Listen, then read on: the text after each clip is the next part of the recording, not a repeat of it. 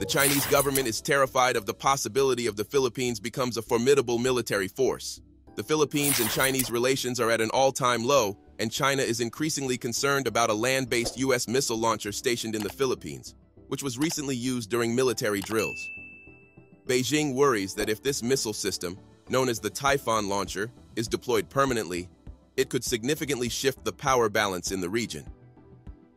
Chinese diplomats in Washington have been seeking more information on the Typhoon launcher, which was placed on the northern island of Luzon in the Philippines four months ago as part of these drills.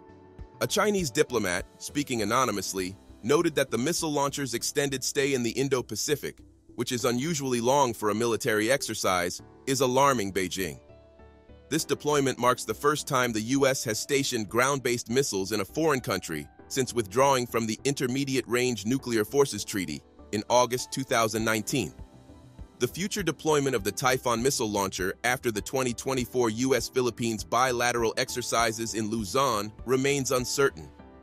During a recent 2 plus 2 meeting between the foreign and defense ministers of the U.S. and Japan, the two sides agreed to increase their military presence in Japan's Southwest Islands. This has raised concerns in China that these mid-range missiles could also be deployed in Japan, in addition to those already placed in northern Philippines.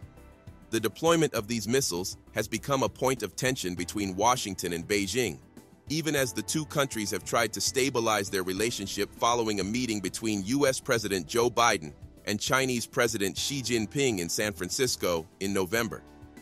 A Chinese defense official likened the deployment of these missiles to bringing a weapon to a diplomatic meeting intended to improve relations. The armed forces of the Philippines have indicated that they expect the Typhoon launcher to be removed from the country by September at the latest. However, local media reports suggest that this stay could be extended. Liu Pengyu, minister counselor and spokesperson for the Chinese embassy in Washington, reiterated China's strong opposition to the U.S. deploying medium-range ballistic missiles in the Asia-Pacific region, accusing the U.S. of seeking unilateral military advantage. He urged the Philippines to quickly remove the missile system as previously pledged.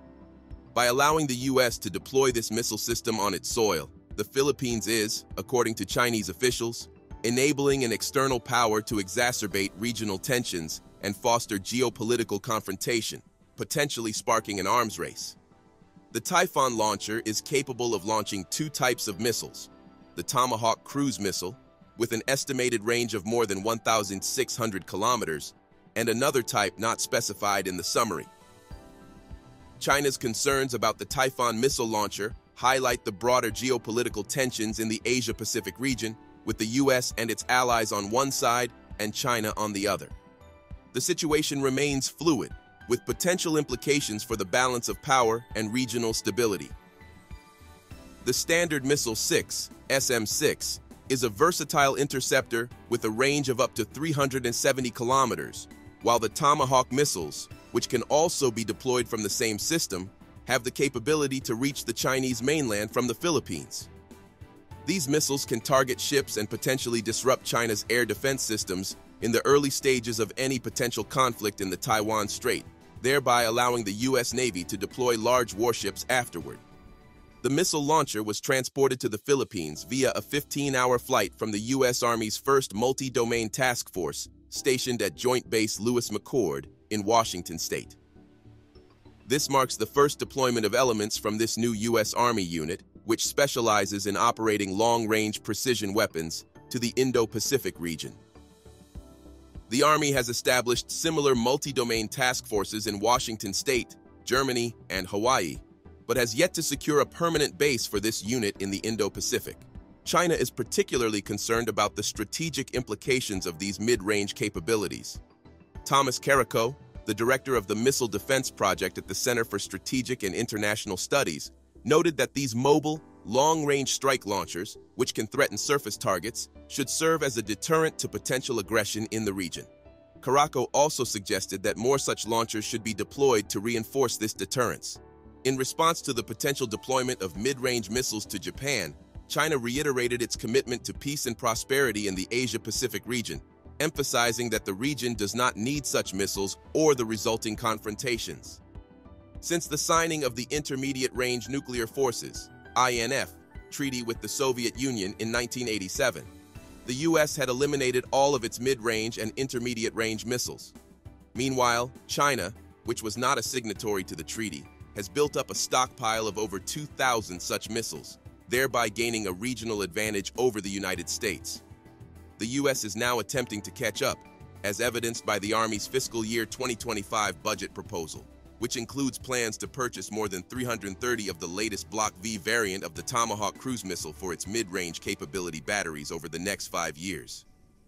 For the first time, the U.S. Army has deployed a mid-range capacity land attack and surface-to-air missile defense system to the Philippines as part of its 2024 military bilateral exercise. This deployment includes the medium-range capability, MRC weapon system, a land-based adaptation of a naval weapon system, which has already been positioned in the northern Philippines near Taiwan. The MRC system, also known as the Typhon weapon system, can provide a land attack range of up to 2,500 kilometers and engage targets at altitudes of up to 108,000 feet. This significant enhancement in U.S. military capability in the region comes at a time when China has been asserting a more aggressive posture in the Indo-Pacific. The U.S. Army's new ground-based launcher, which can support Tomahawk cruise missiles and SM-6 interceptors, is making its debut in the Indo-Pacific with this deployment. The system, designed by Lockheed Martin, integrates the naval Mk-41 vertical launch system into a land-based platform, providing a significant boost to U.S. military capabilities in a region of growing strategic importance. The Typhon missile launcher system, adapted for land-based operations, is a critical part of the U.S. Army's new multi-domain task forces, which were established to address the complex and varied threats posed by Russia and China. Each Typhon battery consists of four launchers, a command center, and associated logistical vehicles. These components are assigned to the task force's Strategic Fires Battalion, which also includes high-mobility artillery rocket systems, HIMARS, and Dark Eagle hypersonic missile batteries. The strategic placement of the Typhon system in northern Luzon, along the first island chain that separates mainland Asia from the open Pacific, is of significant geopolitical importance. This location allows the system to cover not only the entire Luzon Strait, but also reach the Chinese coast and various People's Liberation Army PLA bases in the South China Sea. The deployment of the Medium Range Capability MRC missile system aims to enhance the Philippines' maritime defense capabilities while also strengthening interoperability and readiness within the U.S.-Philippine alliance. Some have questioned the relevance of the Typhon system, which is primarily a land-based asset in the predominantly maritime and air domain of the Indo-Pacific region. However, the U.S. Army has emphasized that Typhon provides a credible land-based maritime strike capability, complementing the efforts of other military branches such as the Marine Corps and Navy. This was highlighted by U.S. Army officials during the activation ceremony of a second Typhon battery earlier in the year. In addition to the U.S. deployment, the Philippines has been actively bolstering its defense capabilities through various modernization efforts. In 2019, the Philippines Department of National Defense signed a deal with Israel's Ministry of Defense and the manufacturer Rafael Advanced Defense Systems for three batteries of the Spider air defense system, valued at 6.8 billion pesos. This agreement is part of the Armed Forces of the Philippines AFP Modernization Program's Horizon 2. The first two missile batteries were delivered in September 2023, with the third expected to arrive this year. The Spider air defense system is designed to protect critical installations, land-based fixed assets, mobile platforms, and friendly forces from a wide range of aerial threats, including combat aircraft, attack helicopters, drones, incoming missiles, guided munitions, and rockets. As tensions continue to rise in the South China Sea and the Taiwan Strait, the Philippines is actively enhancing its defense and monitoring capabilities across land, sea, and air. These efforts are crucial as Manila prepares to defend its territories amid ongoing geopolitical tensions in the West Philippine Sea and potential spillovers from conflicts in the Taiwan Strait. The deployment of the U.S. Mid-Range Capability Missile Launcher System in northern Philippines which includes the ability to fire various missiles, such as the SM-6 supersonic missile with a range of about 450 kilometers, represents a substantial boost to the region's defense posture. This deployment is part of a broader strategy to ensure that the Philippines is better equipped to defend its sovereignty and contribute to regional stability in the face of growing threats and uncertainties.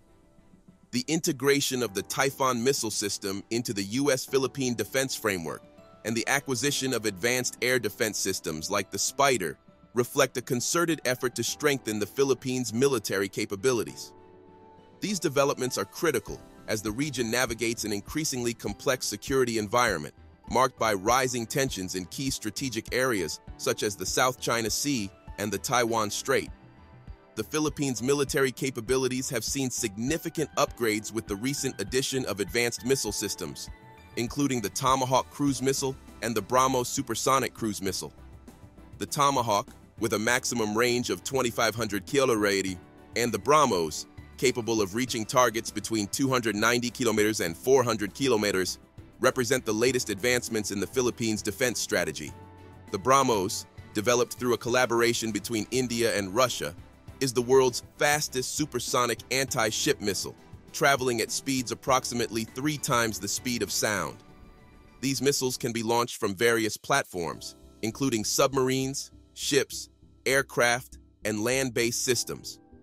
These missile systems, along with the previously integrated Spider surface-to-air missile system in the Philippine Air Force, significantly bolster the country's defensive capabilities. The Spider system, developed by Israel's Rafael Advanced Defense Systems, utilizes Python 5 and Derby missiles to counter a wide range of aerial threats. The mobility and advanced detection technologies of these systems make them crucial components of the Philippines' defense strategy enhancing the country's ability to respond to potential threats. The deployment of these ground-based missile systems in the Indo-Pacific region marks a critical development in the ongoing strategic competition in Asia. In a scenario where a Chinese amphibious fleet might attempt to anchor off Taiwan or station in the South China Sea, the Tomahawk and BrahMos missiles could play a vital role in targeting and potentially neutralizing such threats. Analysts suggest that the presence of these missile systems will complicate China's ability to maintain regional dominance, as they provide a counterbalance to China's superior naval capabilities. The U.S. deployment of medium-range missiles to the Philippines, in conjunction with the procurement of BrahMos and Spider systems by the Philippine military, is a significant step in countering China's regional advantage. This deployment not only enhances the interoperability and readiness of the Philippine Armed Forces, but also strengthens the country's defense posture in coordination with its allies, particularly the United States. The arrival of the BrahMos missile system in the Philippines is a landmark event, making the country the third Southeast Asian nation to acquire this advanced technology. The BrahMos missile, a two-stage supersonic cruise missile, operates on the fire and forget principle, meaning once launched, it autonomously seeks and destroys its target without further input. It achieves its supersonic speed through a combination of a solid propellant booster engine and a liquid-fueled ramjet engine, reaching speeds of up to Mach 3. The missile's range, which varies from 290 km to 400 kilometers, allows it to engage targets at a significant distance, providing a strategic advantage in both offensive and defensive operations. The BrahMos system's destructive power is further enhanced by its ability to carry a 300-kilo semi-armor-piercing warhead, capable of penetrating heavily fortified targets. Its cruising altitude can reach up to 15 kilometers, with a terminal altitude as low as 5 meters, allowing it to evade enemy defenses and strike with precision. This combination of speed, range, and destructive capability makes the BrahMos a formidable addition to the Philippines' military arsenal, significantly boosting the country's ability to defend its territory and maintain regional stability. The integration of the Tomahawk and BrahMos missile systems into the Philippines' defense strategy represents a substantial enhancement of the country's military capabilities. These systems provide a powerful deterrent against potential threats and contribute to the broader security architecture in the Indo-Pacific region, ensuring that the Philippines is well prepared to defend its sovereignty and contribute to regional peace and stability. The BrahMos supersonic cruise missile known for its unparalleled speed and destructive capability, serves as a powerful deterrent against any attempts to undermine Philippine sovereignty, particularly in the contested waters of the West Philippine Sea. Capable of inflicting severe damage even on the toughest ship hulls, these missiles are a critical addition to the Philippines' defense arsenal. In a significant move, the U.S. Army has deployed a mid-range land attack and surface-to-air missile defense system to the Philippines as part of the 2024 bilateral military exercise. This deployment, which took place in early April in northern Luzon, is a substantial boost to the region's defense capabilities, particularly in response to China's growing military presence.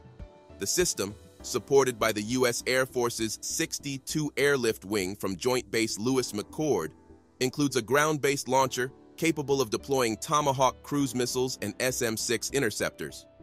The deployment marks the first appearance of the U.S. Army's new ground-based missile system, known as the Typhoon Weapon System, in the Indo-Pacific region.